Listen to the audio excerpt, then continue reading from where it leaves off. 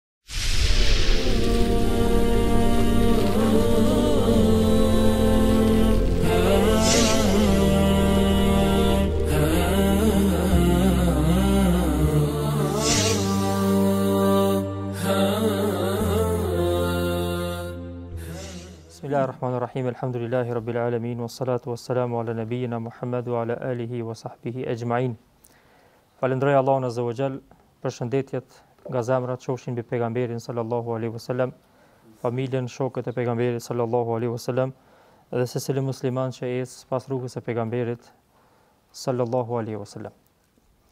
Vazdojmë me udhëzimin e radhës nga fjala e Allahut, e cila është fjala më e dobishme për njeriu në tokë. është faktikisht një tregim ose një rrëfim interesant që përmendet në surën Merjem, e që është i vetmi vend ku përmendet ky tregim. Tregimi pra i nënës së Merjemës, gruaja e Imranit, e cila është me i cili tregim është shembull për të gjitha gratë. Tregimi i cili është shembull për të gjitha gratë dhe sidomos për gratë muslimane. E ky tregim që është tash përmendur në këtë rast, tregimi i Merjemës përmendet në shumë vende në Kur'an. Përmendet Merjemja nëna e Isait shumë vende me dhjetra vende në Kur'an. Tregimi i saj përmendet po ashtu në suren Merjem, e cila është surja speciale me emrin e saj. Por tregimi i nënës Merjemës se si ka lind Merjemja, si ka ardhur deri te lindja e saj përmendet në këtë vend. Pra, në suren Ali Imran, në këto ajete janë dy ajete që Allahu Azza wa Jalla përmend këtë tregim. Allahu thot e wa idh qalet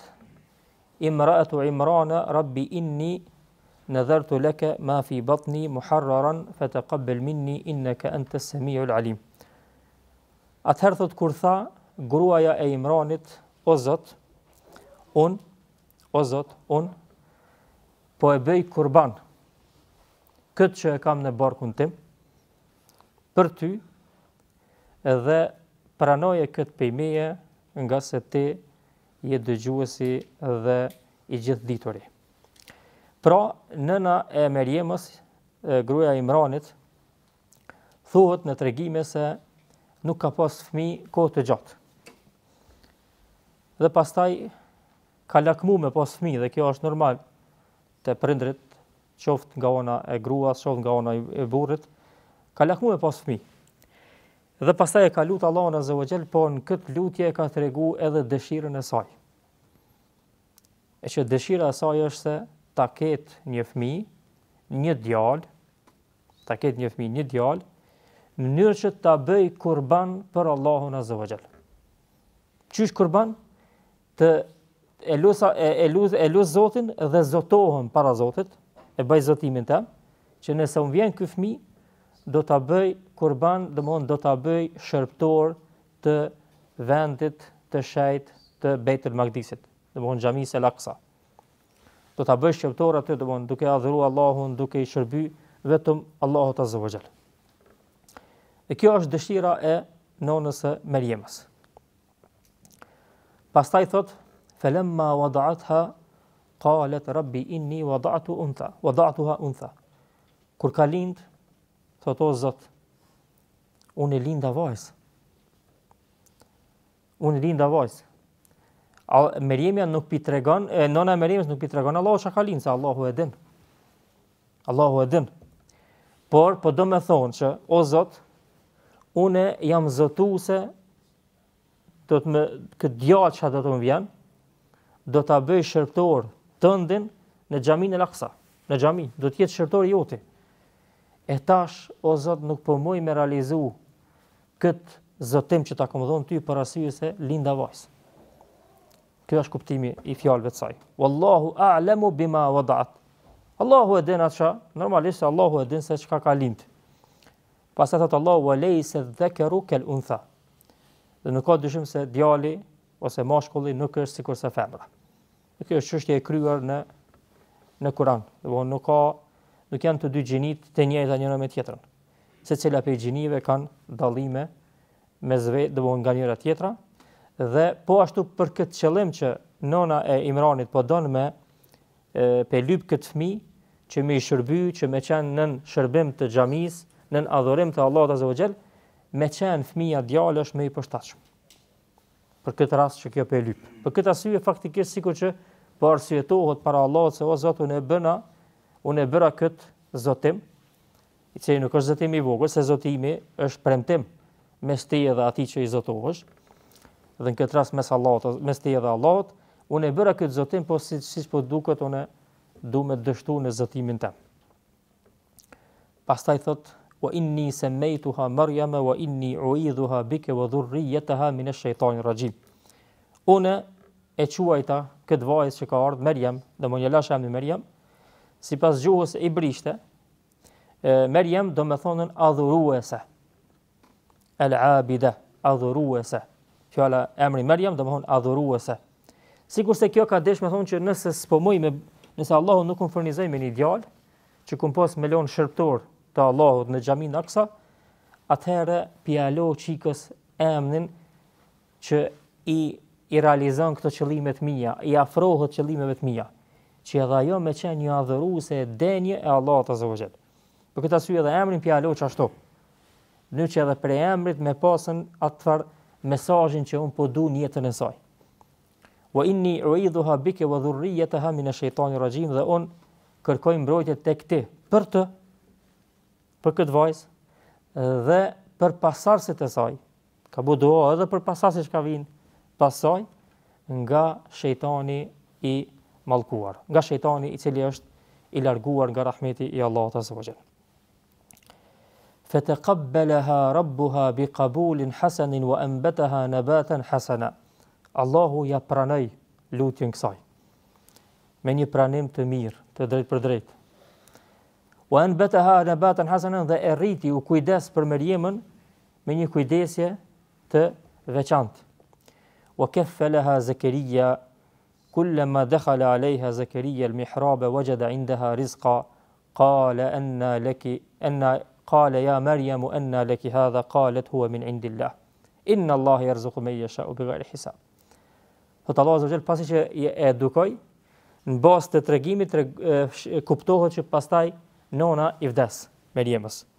Kjo, kjo nona e mirë, kjo nona edukatore, për arsye se thotë Allahu, pastaj e, e, e kem përcaktu përgjegjës Zekerijen. E kem përcaktu pejgamberin e nderuar Zekerijen alejhi selam, e kem përcaktu përgjegjës për këtë. Dhe pastaj e tregon tregimin një pjesë të tregimit për Merjemën që thotë, sa që ka hi Zekerija në atë vendin ku është falë Merjemja, ku e ka adhuru Allahun azze ve xhel, ka gjet mënyrë të vazhdushme aty ushqime t'mira, freskëta. Dhe pastaj e ka pyetur prej nga po vjen ky ushqim o me oj Merje, oj Merjeme, thot ky ushqim vjen prej Allahut, Allahu është ai që furnizon pa llogari, pa fund. Ky është, kjo është tregimi. Kjo është fillimi i tregimit të nënës së Merjemës. Si fillim, si tregim, që është tash janë dy ajete, pra përafërsisht dy dhe në tri ajete, dhe mund dy ajete e gjysë, nëse lidhet taman me fjalë, por që janë në realitet janë mësim për jetën, jo vetëm për gratë, edhe pse për gratë në mënyrë më speciale, por edhe për edhe për burrat. Çështja e parë se udhëzimi i parë që nxirret prej këtyre ajeteve është se cili është qëllimi i ardhjes së fëmijëve në këtë dynja. Kjo çështje është me rëndësi. Nuk është çështje e thjeshtë. Nuk është qëllimi me ardhë fëmijë në këtë dynja për me pas fëmijë. Normalisht, secili prej atyne që s'kanë fëmijë, kanë qef me pas fëmijë. Allahu i furnizoftë kush s'ka fëmijë me fëmijë. I boftë fëmijët e tyne të hajrit. E ata që kanë fëmi, Allahu i ruajt ato fëmi prej të këqijave të shejtanit dhe rrugëve të devijimit. Mirëpo, mirëpo vetë ardhja e fëmive është përgjegjësi në vete. Andaj këtë tregim, këtë mësim po na jep nona e Merjemës. Për arsye se hala pa i ardhë fëmija, po don m'u përgadit për atë që ka me ardhë, për, për derisa ka me qenë shtatzonë, po don m'u përgadit. Po don me qenë e gatshme me eduku një fëmi, qysh don ajo në rrugën e Allahut azze ve xhel. Andaj nuk është vetëm me pas fëmi, Muslimani duhet me menu, me lutë Allahun me pas fmi, po të njëjtën kohë me pas qëllime dhe sunime nëse i vjen fmija. Dhe kjo është përgjegjësia. Kjo është përgjegjësia. Andaj nëse e menon qëtë aspekt përgjegjësinë, që ti ki mu, ki mu, ki mu kujdes e ki obligim, e ki, vaj, e ki farz, e ki obligim, mu kujdes për fmi, për edukimin e tyre. Ti ki mu kujdes për fmi, për gjërat që atyne ju nevojiten, qofshin ato domthon fizike, qofshin ato psiqike, qofshin emocionale e, e gjëra të ndryshme. Dhe ti ki me qenë përgjegjës për fmi, për çdo problem që atyne ju ndodh në jetë, përderisa janë nën, nën përkujdesin tënd. Përderisa janë moshën, nuk kanë, hala, nuk kanë hy hala n'moshën madhore. Andaj, kur e kupton qët aspekt, e sheh që përgjegjësia e fmive, është përgjegjësi e madhe. Dhe me gjitha angazhimet që i ka njerëzit këtë dynjo, mbetet fëmija njona prej përgjegjësive të, të rendit, ose njona prej llojit të përgjegjësive të jetës së njeriut. Kurse nuk është kjo e drejtë. Faktikisht, na jena sprovu me këtë, me këtë gjendje që kena, po nuk është kjo e drejtë. Fëmija është përgjegjësia ma e madhe që e ka prindi i tij në këtë dynja, përgjegjësia. Nuk nuk po tham, nuk po tham domthon projekti i tij ma i madh, jo se projekti i njerit musliman ma i madh me qenë adhurimi i Allahut. Mirëpo në raport me obligimet e tij, në jetë obligimin më të madh karshi njerëzve e ka ndaj fëmijëve të tij. Andaj dikush që veç don me pas fëmijë, kina pa dhe shohmi çdo ditë që pastaj fëmijët e tij janë, fëmijët e tij janë ankth dhe trishtim për ta. janë dënim për ta në këtë dynja e dënim do të jenë për ta në ditën e kiametit. Edhe në dynja. Për këtë arsye unë në hutbë e përmenda dje kur fola këtu. Thashë që ai që mundohet m'i eduku fëmit kur janë të vogël në rrugën e Allahut, m'i rujt pi harameve, m'i rujt pi punëve t'kshia, m'i mësu. Me pas gajlen me thon fëmijëve mos e bë këtë punë se është haram. Mos e bë këtë punë se është ndaluar. Rruj prej kësaj, rruj prej kësaj. Ai me leje t'Allahut s'ka përgjegjësi nëse fëmijët devijojnë. Pse se Allahu nuk e ngarkon kurkan përtej mundësive t'tina. Është mundu, ja ka kallëzu rrugën e hajrit, ja ka kallëzu xhamin, ka kontribu për këtë aspekt, u mundu m'i udhzu në rrugën e drejtë, ky e ka bo një punë të madhe. Normalisht, edhe ky mund m'i pas ato obligimet e tij, ose përgjegjësitë e tij nëse nuk ka dit, nëse e kështu me radhë, ato janë çështje më të, më të ma të holla, ma të thella. Por në mënyrë të përgjithshme ky është obligimi. Ky është obligimi. Duhet me u kujdes për fenë e fëmijëve më shumë se më se sa me u kujdes për dynjan. Na i na, na i thojmë fëmijëve s'ban, na jo s'ban kjo rrugë, pse vetëm nëse ka të bëjë diçka me dynja. Vetëm nëse preket diçka prej çështjeve të dynjasë.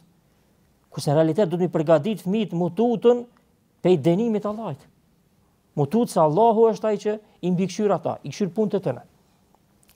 Për këtë arsye, po ashtu thash në hutbe, nëse prindrit nuk kujdesen për fëmijë, me i udhëzu fëmijët në rrugën e Allahut sa janë të vogël, sa janë të vogël edhe kur të hyjnë fëmija në moshë madhore, nëse bojnë vepra të këqija që i kanë mësuar prej vogëlisë, përgjegjësinë e merr prindi edhe nëse hyjnë fëmijët në moshë madhore.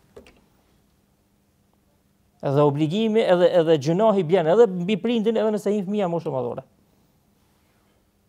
Pse? Për arsye të mos kujdesjes së tij me këtë përgjegjësi të madhe që i vjen në jetë. Nëse e kqyrim që ta spekë vllazni, me një anë, me një anë, zviceranët që janë këtu e kanë mirë. Me një anë, jo, me, jo në krejt aspektet.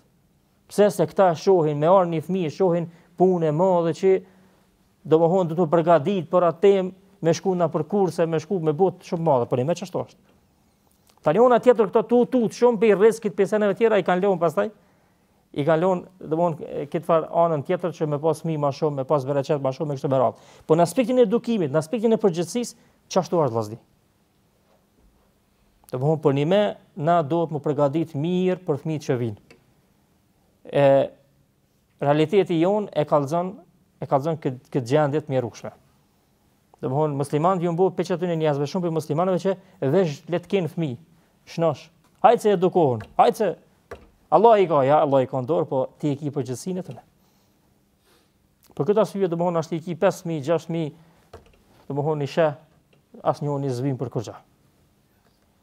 As i ki të dynjasë, as i ki t'ahiretit. Edhe nëse, nashta i ki të dynjasë, ama, Allahun nuk e njofin, lindin edhe rriten edhe nashta edhe vdesin, Allahun nuk e, nuk e njofin. Andaj, ky tregim, të dashur vëllezër, na mëson që në rend të parë, prindërit duhet me ditë që janë tu lypë diçka pej Allahut që është çështje e madhe. Nuk është çështje e thjeshtë. Nuk është çështje e lehtë. Përmes ardhjes e fmive, zhvillohet jeta në tokë në mënyrën e duhur. Pa fëmijë nuk ka jetë, mirëpo edhe pa fëmijë të hajrit nuk ka jetë. Edhe pa fëmijë të hajrit, po ashtu nuk ka jetë. Dobija e dytë, prej çështjeve të rëndësishme për të dy prindërit është se, ose udhëzimi i dytë nga, kjo, nga këto ajete është se, prindërit duhet me bo njetin e pastër në kërkimin e tyre ndaj Allahut për fëmijë. Do të thotë duhet me pas një njet të pastërt. Duhet me menu pozitivisht para se me të ardhë fëmija. Edhe me ditë nëse e lutë Allahun, për shka pe lutë për fëmi. Cilat i ki qëllimet? Çka janë qëllimet e tua me t'ardhë fëmi? Njeti me qenë për hir të Allahut, me qenë i pastër, jo për një interes të ndonjë kësaj dynjaje. Ka njerëz që e lutin Allahun për me pas fëmijë, për arsye që m'u kallzu ma i fort. Për këtë arsye edhe pastaj edhe te arabët ka qenë ma herët, po tani edhe është bart ose ka ekzistuar te popujt tjerë. Për këtë arsye njerëzit kanë lyp djem ma shumë, jo vajza. Pse? Se djem demek t'mbrojnë, t'rujnë. Për këtë arsye, domthonë, kanë bo gjeste të këqija nëse janë përgëzu me vajza e kështu me radhë që e kena shpjegu.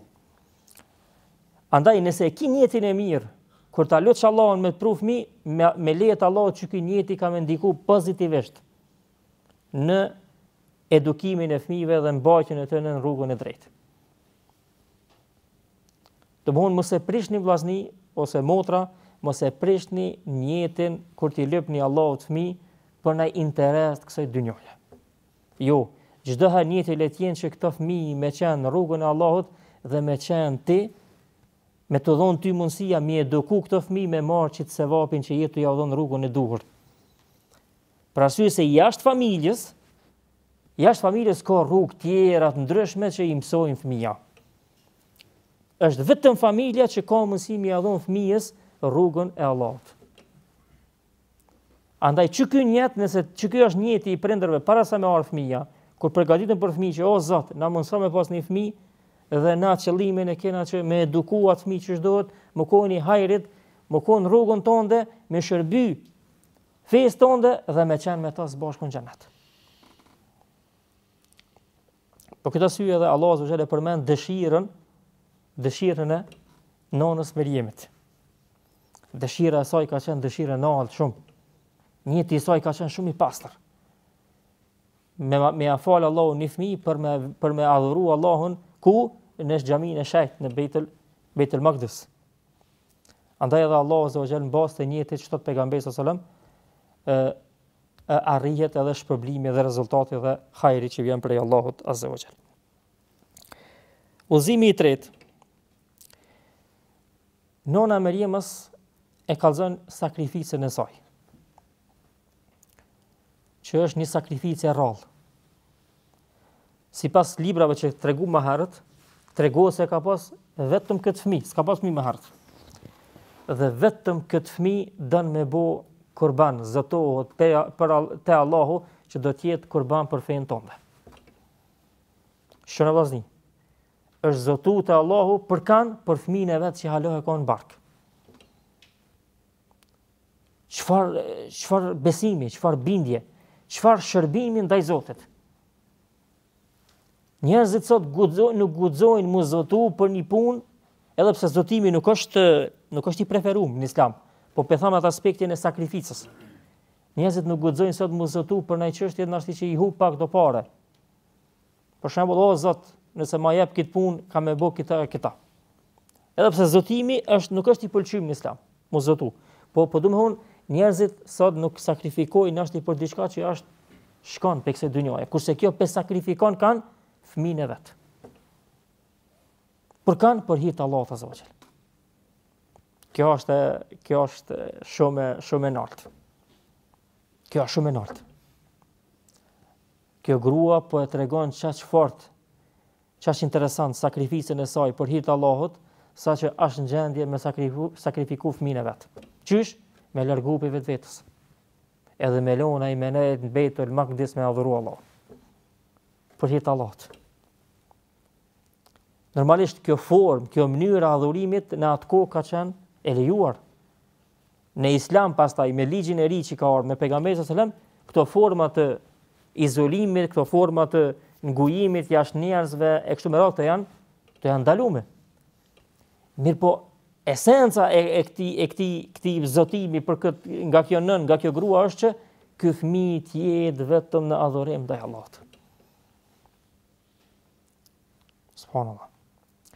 Faktikisht është aq ambicie e lartë, aq ambicie e madhe, saqë na domethonë pak diçka me marr pe qytë në pe qytë në gjunve të mira, te fmijtë e tonë na duket që kushedi çka kam rrit. Pak me pa te fmijtë e tonë naj punë të hajrit që e bën, na mendojmë që ah mashallah, s'ka si fmijtë e tonë. Na duket që përfundoi, u krym. A mund dikush, dikush thotë unë jam gjendje me bo fmin tem kurban për Allah. Jo me pre kurban, po jam gjendje me lon kurban, me shërby ai, me kon shërbëtor veç i Zotit. Jo në diçka tjetër këtë dynjo. Andaj kjo është ajo ambicia e nalt që faktikisht është ndoshta e papërsëritshme në histori. Për këtë arsye edhe Allahu azza wa xhel për shkak kësaj ambicie të lartë kësaj gruaje, me këtë lutje, me këtë ide të saj, me këtë projekt që e ka menuar kokën e vet, Allahu azza wa xhel ia jep këtë bereqet të madh që pastaj prej kësaj familje me ardh Isa alayhis salam mrekullia më e madhe mas Ademit alayhis salam. Mrekullia më e madhe sipërfaqen e tokës mas Ademit alayhis salam. Madje Isa alayhis salam i ka pas disa mrekulli në jetën e tij që s'i ka pas asnjë asnjë pejgamber. sikur ç'ka qenë shërimi i njerëzve me smuja të pashërushme, ngjallja e të vdekurve, e shumë gjëra tjera që i ka thënë Allahu azza në Kur'an për Isa alayhis salam. Andaj të dashur vëllezër, sa më shumë që të jenë ambiciat e prindit për fëmijë para praktikisht, aq më shumë ata përgatiten për këto ambicie që ja kanë tregu vetes në rrugën e tyre. Do me thonë, tash nëse lind fëmija, nëse unë e kam nijet Kam qejf djali jem m'u bo hafiz i Kuranit, ose çika jem m'u bo hafize e Kuranit, atëherë duhet që asaj ambicjes të naltë që e kam, duhet me nejtë gati për me arrit. Ama nëse unë e kam qejf veç, o, inshalla bohet, sa me kon i zoti i vetë vetes. Dhe ç'thojnë te na, inshalla bohet i zoti i vetë vetes. Ti je tu ja dhonë minimumin, je tu u lutë për ta. Ti je tu lyp për ta veç sa me, me sa mos me mos me pas ihtijaç, mos me pas nevojë për dikon. Jo, jo, duhet me bo dua edhe m'u përgatit, me përgatit fëmijët që me kanë ata që kanë mundësi me me kanë projektues për dikon, me kanë shembull për dikon edhe me kanë krye, në krye të punëve të mira. Andaj nëse nëse e shohim kët në kët an, kët tregim, po na me e shohim që që ambicia e kësaj gruaje ka qenë e jashtëzakonshme. Për këtë arsye dhe Allahu azza wa jalla e përmend e përmend në Kur'an. Shiqoni pastaj vllazni, e që është pika e katërt ne e kena përmen këtë mesele, shpesh po edhe këtu del shumë në sipërfaqe kjo mesele.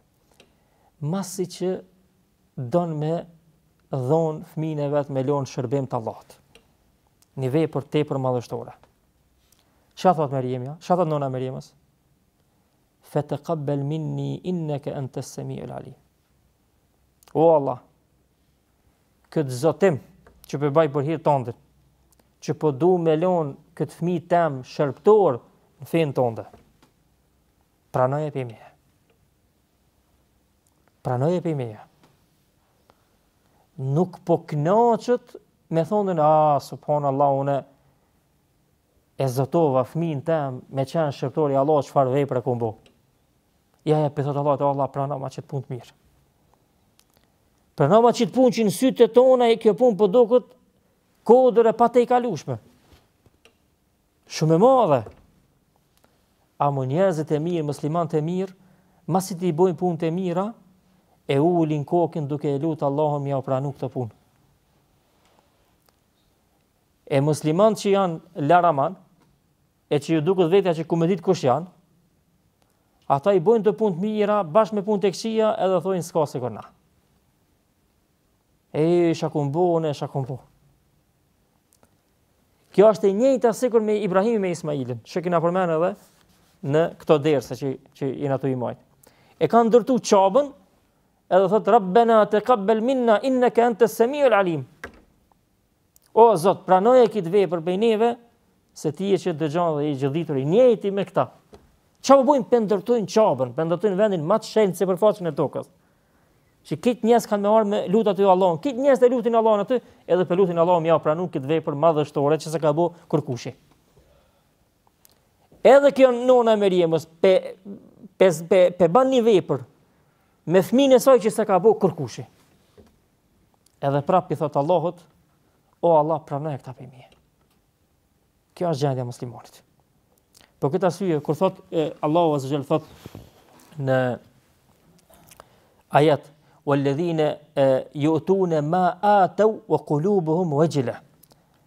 Tregon për një kategori të njerëzve që japin sadakë. Thon, thot Allahu azza jall, ata që japin nga ajo që na ju kina dhënë atyne dhe zemrat e tyre janë në dridhje. Nuk janë qeta 100%. Jan në e, si më thon në siklet në, se, në siklet. Thot Aisha e ve e veta pejgamberin a.s. për këtë ajet. Thot o i dërguari i Allahut.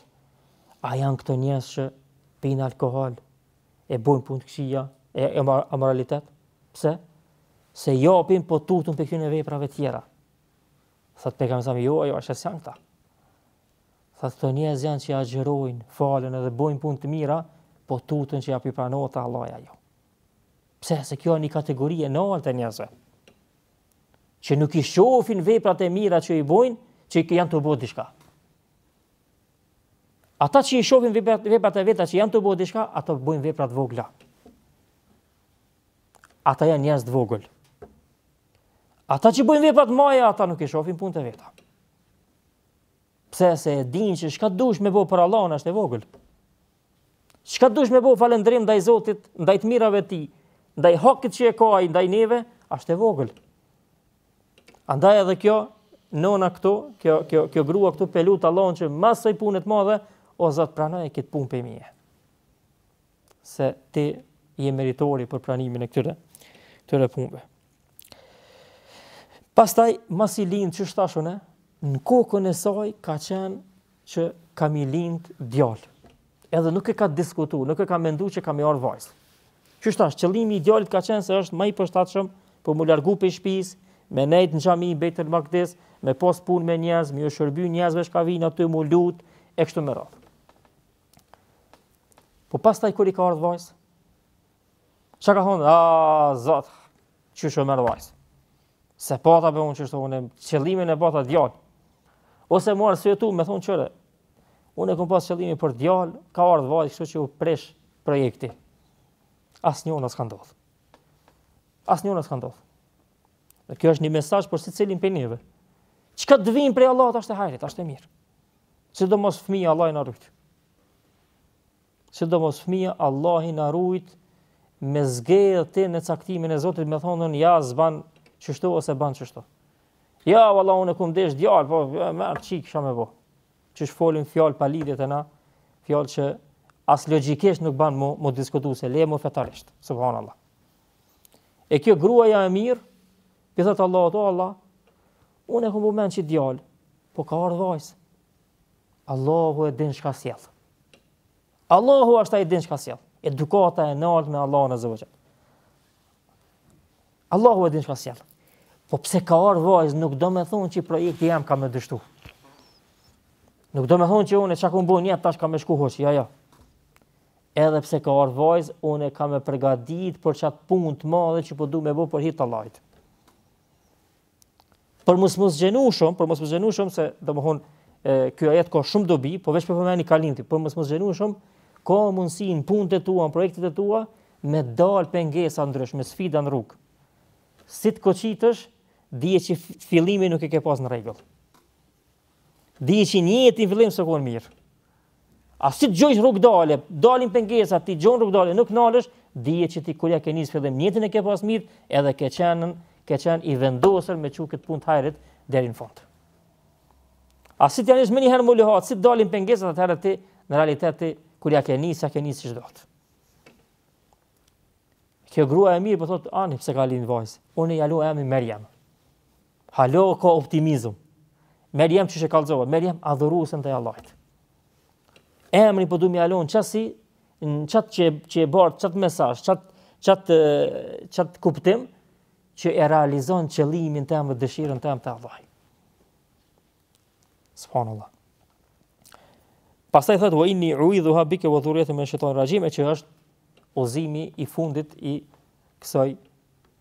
i këtyre ajeteve. Pra, lutja që e bën prindi për fëmijët e tij. Vllazni këtu na mëson që prindi duhet me bo lutje për fëmijët e tij. Dhe po ashtu na mëson se cila është prej këtyre lutjeve ma e rëndësishme. Prindrit, shumica e prindërve, shumica absolute luten për fëmijët e tyre. Po çka luten? Shumica ose shumë prej tyre luten veç me mri diçka në këtë dynja. E na, e na, na trullav domthon na na ka trullav kapitalizmi çdo sen e lidhim edhe na veç me këtë dynja. Ti ki me u bo si filani futbollist për shembull. Pse? Se ka pare. Ti ki me u bo si filani artist ose diçka pse? Se ka pare, ka pozitë, ka kështu. Po m'i thonë ti ishalla bo si Omer ibn Khattabi, si Ebu Bekri, që ka dhonë sadaka, bu punë të mira. Ti ishalla bo si filan personi, kush ashtë ky? Ka qenë një adhurus i madh i Allahut azze ve xhel. Ti ishalla bo si Aisha, ka qenë dijetare që i ka mësu fmijt. Si kjo, si kjo, kështu rrallë na shkon menja. E prej, prej, prej, prej, prej edukatës që na mëson nëna e Merjemes është se e para me lutë Allahun që m'i rujtë fmijt. Pse? Se unë nashta kam mundësi mu, mu kujdes për fmijt. Nashta mundona mu kujdes për fmijt. Ama unë s'muj me rujtë, m'i rujtë fmijt prej shejtani nëse s'don Allahu m'i rujtë. Unë s'muj m'i rujtë fmijt prej të këqijave nëse s'don Allahu m'i rujtë. Andaj duaja jeme ashtë te Allahu që m'i rujtë fmijt prej kujna, prej djallit mallkum. Kjo është më e rëndësishmja. Pra o Zot, ruaj fëmijët e tonë nga djalli, nga shejtani, nga të këqijat e tij, nga devijimet e tij, nga vesveset e tij. Këtë dua Allahu ia ka pranu nënës Merjemes. Thotë pejgamberi alejhi selam në hadithin që e transmeton Imam Buhariu dhe Muslimi, thotë secili fëmijë, secili fëmijë që vjen n'këtë dynja e godet shejtani. Dhe për këtë arsye qan kur dalin prej barkës, prej barkut të nënës. Përveç Isës dhe nënës së tij. Domethënë Merjemes që Allahu i ka ruajtur nga shejtani për shkak të duas së nënës së Merjemes. Pse? Se nëna e Merjemes ka bë dua, o Allah, ruje kët vajzën Merjemen dhe familjen dhe pasardhësit e saj. Dhe Allahu e ka ruajt prej ndikimit të shejtanit Merjemen dhe djalin e saj Isa alayhis salam, Isa alayhis salam, dhe për këtë arsye se shejtani nuk e ka godit momentin kur momentin kur ka lind. Përveç kësaj, domthon kur e bëjmë këtë dua e ruajmë e kërkojmë prej Allahut azza xhel që me ruajt fëmijën tonë prej të këqijave që vijnë prej shejtanit. prej cytjeve të ndryshme, prej devijimeve të ndryshme. Dhe qysh thash, dashur vllazni, prindërit duhet m'u mësu m'i rujt fmijt, me, me, me, me bo lutje te Allahu për fmijt, që m'i rujt Allahu nga devijimet e kësaj dynjaje. Dhe m'i shpëtu nga zjarmi i xhehenemit. Dhe me qenë të përgëzum dhe me qenë të shpërblyer me xhenet. dhe me qenë shembull i mirë në këtë dynja. Me marrë shembull të njerëzve të mirë, nëse domethonë, me krahasu, ose me nxit fëmijën për punë të mira, me marrë shembull të njerëzve të mirë. Njerëz që kanë lënë gjurmë të mira në tokë, që kanë bërë vepra madhështore, që kanë qenë adhurus, që kanë qenë trima, që kanë qenë luftarë, që kanë qenë, domethonë, shkrimtarë, dijetarë, e kështu me radhë. Punë të mira, tamam punë që që janë në vetveten e tyre janë të madhreshme dhe të mdhaja dhe e ndërtojnë një umet, e ndërtojnë një popull.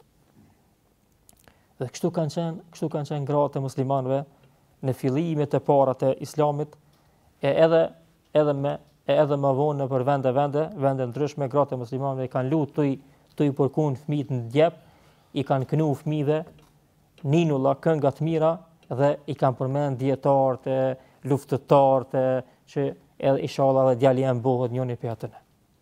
Kanë përmend vepra të mdhaja, vepra madhore. Jo mi përmend këngëtarët e lojtarët e futbollit e kështu që s'ka kurrnjëfar, kurrnjëfar hajri prej këtyne punëve. Kurrnjëfar hajri s'ka prej këtyne punëve. Mund me përfitu diçka në këtë dynja, është e vërtet, amo nuk është diçka që është e madhe që jet dhe jet në dobi të njerëzve. Andaj çdo punë që e bëjnë fëmija, nëse lutesh ti edhe kujdesesh për ta, atëherë çdo punë e tyre që e bëjnë ata, pastaj një pjesë e këtij sevapit të këtyre punëve çka i bëjnë fëmija, derisa t'jenë gjallë, i shkojnë edhe prindërve për shkak të këtij kujdesi që e kanë kallëzuar ata prind për këta fëmi. Andaj do është o Përveç e lusim Allahun azza wa jall që t'i ruajë fëmijët tanë prej të këqijave. Domthonjë që është edhe duaja që e ka përmend nëna e Merjemës këtu, prej shejtanit të mallkuar në rend të parë, prej intrigave dhe trillimeve dhe të këqijave që vijnë prej tij, njashtu duhet që të kujdesemi që është edhe në fillim, që të jemi ma vigjilent, ma të kujdesshëm në edukimin e tyre në rrugën e Allahut azza wa jall.